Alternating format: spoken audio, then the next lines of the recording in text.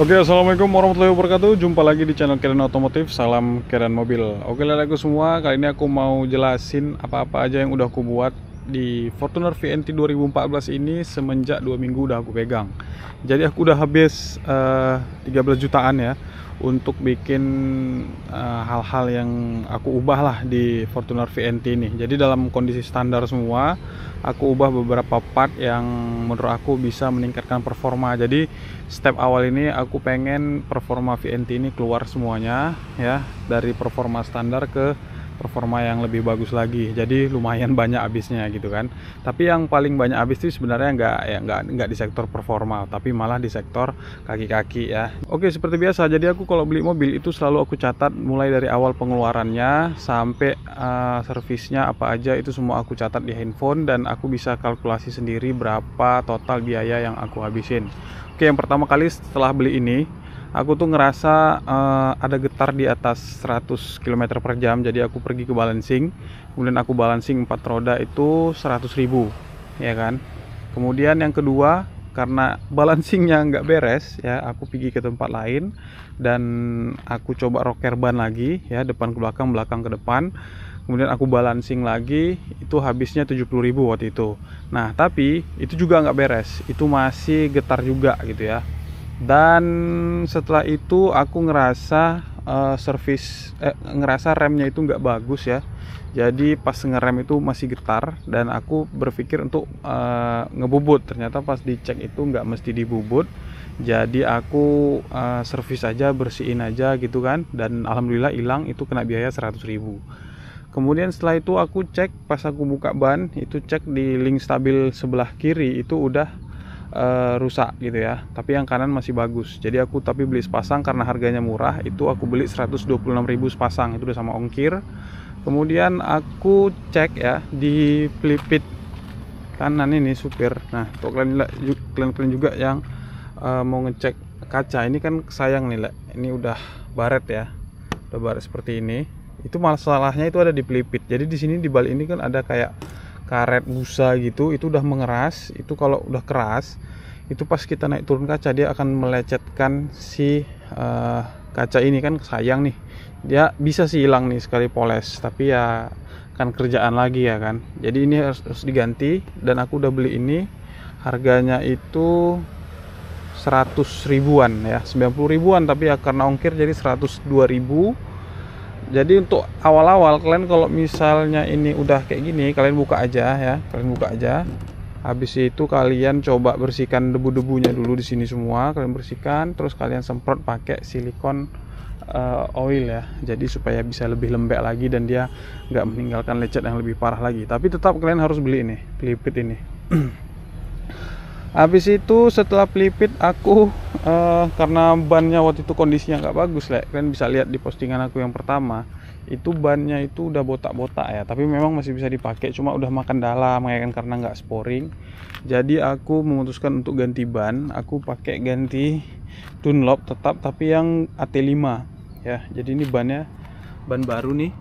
Ya itu aku ganti 44 itu total habis 7 jutaan ya. 7, 24 juta ya. 7 juta 240 ribu.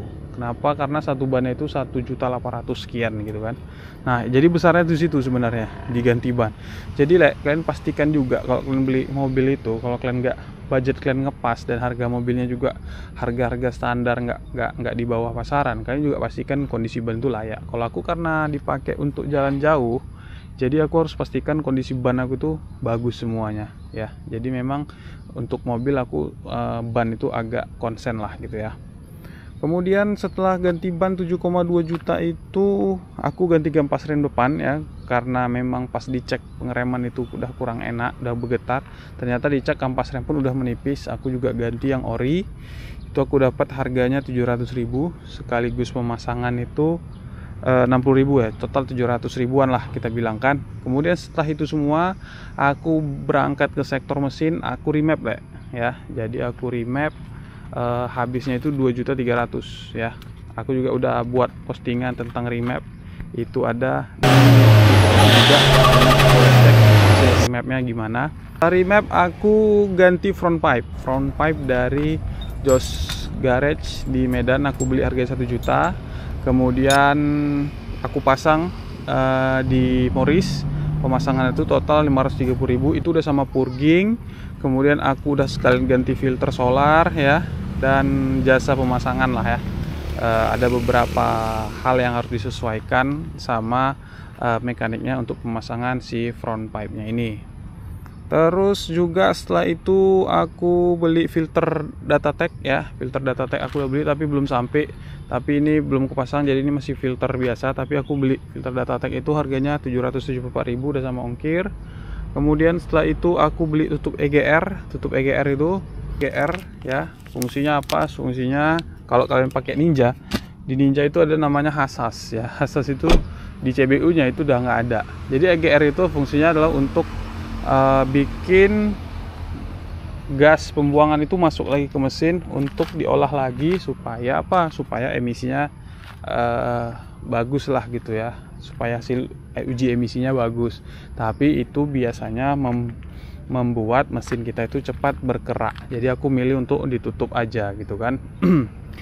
Kemudian nanti siang ini aku mau pasang juga nih EGR nya terus aku beli wiper ya wiper jangan sampai kayak kejadian pelipit wipernya itu harus uh, yang bagus ya ini.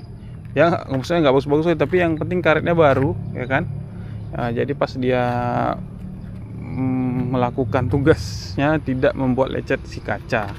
Terus terakhir aku karena masih udah ganti ban, udah balancing dua kali, udah rocker ban, itu masih bergetar di atas kecepatan 100. Akhirnya aku pergi ke balancing yang memang benar-benar proper uh, tambah 100 ribu lagi. Nah jadi setelah balancing yang terakhir ini sudah oke okay, gitu ya. Sudah bagus sudah nyaman tapi aku masih penasaran sama finish balancing ya. Ini udah udah udah normal lah ya getarnya udah berkurang tapi masih ada sedikit saja aku rasain di atas 100 itu. Tidak senyaman pas bawa 80 aku kayaknya memutuskan nanti akan finish balancing. Finish balancing itu setelah aku tanya itu harganya uh, 75.000 satu ban dan finish balancing itu dua ban aja di depan aja.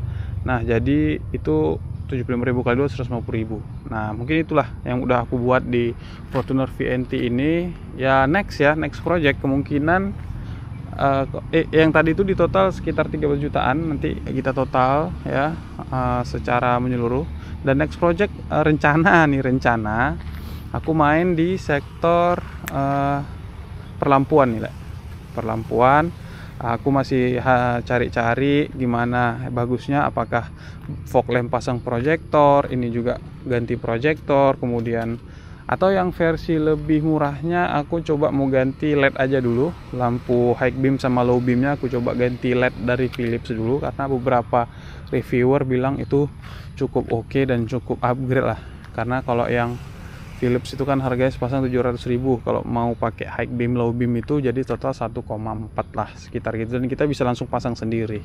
Nah itu paling. Terus juga di sektor piping aku paling aku agak penasaran dan pengen cobain piping filternya itu lah nah itu kan uh, mau cari yang stainless ya. Kalau aku searching-searching sih harganya satu jutaan juga gitu kan. Tapi kayaknya untuk performance itu dulu uh, paling perlampuan. Sama ini agak mau dipoles karena udah lumayan kuning beda sama yang sebelah kanan. Ya coba kita nanti uh, lebih percantik lagi lah. Dan ujungnya mungkin nanti kita mau salon ya. Mau salon coating gak usah lah. Kalau putih coating kayaknya nggak perlu. Kita salon aja yang biasa yang penting kinclong. Oke mungkin itulah yang bisa aku sharing sama kalian. Aku beli Fortuner VNT ini apa aja yang udah aku buat. Ya harganya lumayan lah ya. Tapi karena sebenarnya yang besar itu dari uh, upgrade ban. Kalau dikurangin ban kan baru 5 jutaan lah gitu ya. Mungkin itu yang bisa aku sharing sama kalian. Makasih yang udah nonton udah subscribe komen. Uh, pantengin terus channel kalian otomotif. Semoga terhibur dan bisa menambah wawasan kalian tentang otomotif. Terima kasih. Assalamualaikum warahmatullahi wabarakatuh